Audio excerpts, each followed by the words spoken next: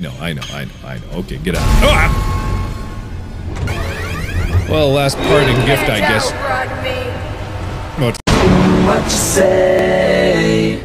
Mm, that you only meant well, well, cause you did. Mm, what you say?